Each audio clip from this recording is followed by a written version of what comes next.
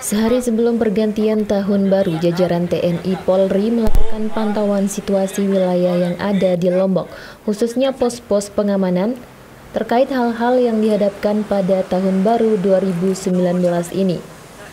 Hal ini juga sesuai dengan himbauan dari Gubernur Nusa Tenggara Barat kepada tokoh masyarakat ataupun pemerintahan agar merayakan tahun baru dengan cara yang sederhana dan dianjurkan untuk melaksanakan dalam bentuk kegiatan keagamaan dan tidak merayakannya dengan hura-hura.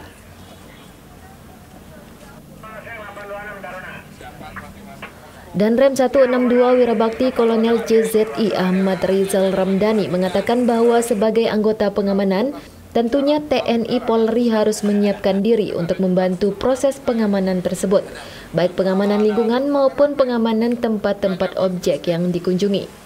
Lebih lanjut, dan Rem 162 Wirabakti ini juga menjelaskan hal-hal yang perlu diamankan, yaitu di antaranya mengenai meningkatnya arus lalu lintas di jalan, karena dikatakan bahwa secara otomatis masyarakat akan menggunakan jalan protokol untuk merayakan acara tahun baru ini. Selain itu, menurutnya yang perlu diantisipasi adalah tempat-tempat keramaian, seperti pusat-pusat perbelanjaan dan juga rumah-rumah makan. Dan tak kalah penting adalah pantauan terkait kembang api, yaitu mengingatkan kepada penjual kembang api terkait jenis kembang api yang boleh dijual dan yang tidak boleh dijual. Uh, meningkatnya arus lalu lintas di jalan. Kenapa kami sampaikan arus lalu lintas? Karena masyarakat uh, sementara tempat-tempat hiburan ditiadakan, jadi masyarakat akan menggunakan jalan-jalan protokol sebagai tempat uh, mereka melaksanakan acara merayakan uh, malam tahun baru. Nah ini perlu ada pengamanan dari TNI Polri, dalam ini kita bersinergi semaksimal mungkin.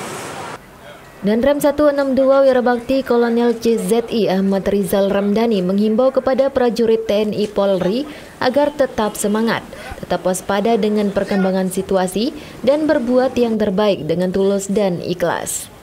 Dari Mataram, Nusa Tenggara Barat, Tim Liputan, GET TV.